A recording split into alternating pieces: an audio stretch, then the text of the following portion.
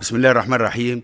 إلى أهالينا بالدائرة الانتخابية للقيروان الجنوبية تحية وطنية لكم جميعا. أنا مرشحكم الطيب الطالبي أستاذ أول فوق الرتبة اختصاص تاريخ ورئيس بلدية حاليا. ترشحت لأول مرة لنيل ثقتكم كنائب في مجلس نواب الشعب بدافع حبي لهذا الوطن العزيز والقيروان الحبيبة تحديدا. القيروان ربيعة الثلاثة عاصمة الإسلام في المغرب الإسلامي التي تدحرجت لتحتل المراتب الأخيرة في التنمية ومستوى العيش وتحتل المراتب الأولى في نسبة الأمية والبطالة والفقر والانتحار والجريمة. القيروان التي تعاني من تكدس الأوساخ والانتصاب الفوضى وغياب المرافق الأساسية وفضائيات ثقافية وترفيهية تليق بمكانتها التاريخية.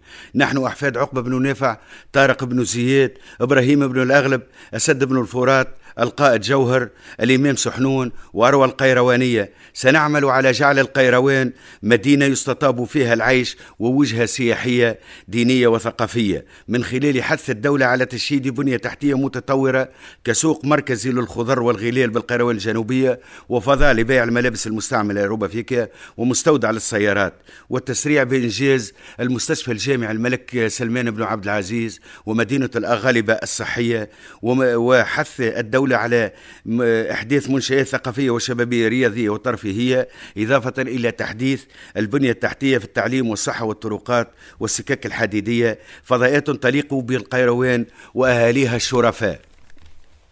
إلى أهالينا بأرياف القيروان التربة التي نشأت وترعرعت فيها. القيروان تحتل المراتب الأولى في إنتاج الحبوب والزيتون والخضر والغلال وتربية الماشية.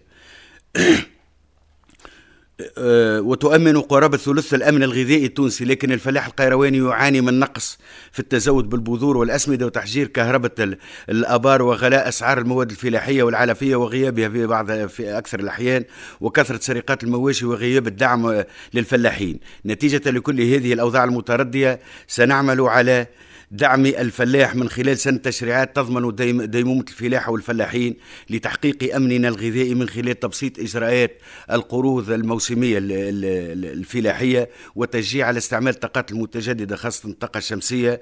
وأمام ندرة المياه سنعمل على التسريع بجلب فائض مياه الشمال إلى إلى الوسط وأحداث بحيرات مائية بواد زرود لتغذية المائدة المائية، كما سأعمل على تسن تشريعات صارمه للحد من السرقات والبركاجات، كما سأعمل على خلق مواطن شغل للشباب عبر آلية تحرير العمل ودعم المبادرة الخاصة، مرشحكم الطيب الطالبي آه، ابنكم البار الحامل لرقم واحد في الدورة الانتخابية الثانية. نحثكم على الإقبال بكثافة للانتخاب في 29 جانفي 2023